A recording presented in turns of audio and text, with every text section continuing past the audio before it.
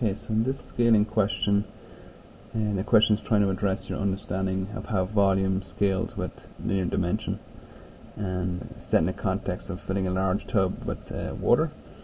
So you're told that you you have to fill this large tub by using a small bucket and it ends up taking 12 of these buckets to fill the tub. So I might refer to this original bucket as bucket A. So I can imagine that bucket A, I'll give this bucket a height of h and a radius r.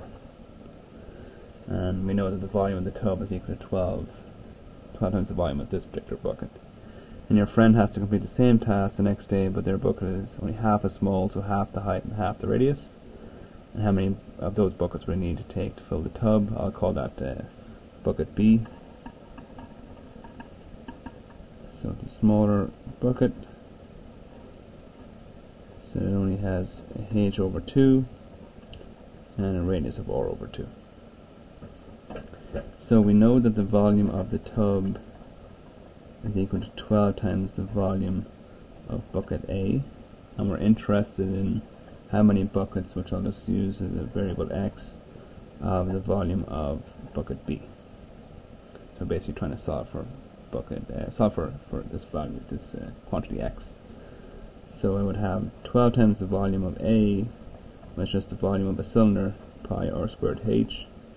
Again, showing you the volume depends in this case on uh, uh, two linear dimensions, but one of them is squared. So this is sort of linked to volume being proportional to L cubed.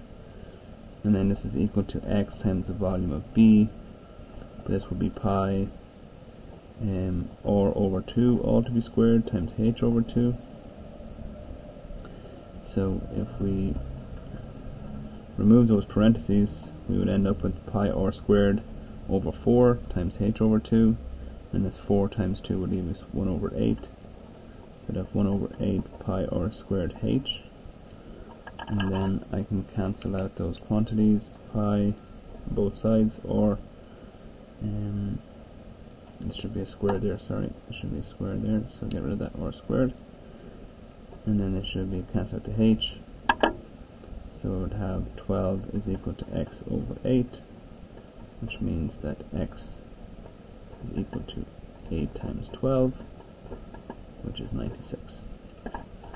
So that would be a long task, but that would take, because the volume of the second bucket or the dimensions of the second bucket are only half as much, half both in the height and half in the radius, um, and volume scales with L cubed, and because the the ratios, the proportion the same, one half of these linear dimensions leads us to one half cubed, which is only one eighth. So it only has the small bucket only has one eighth of the volume.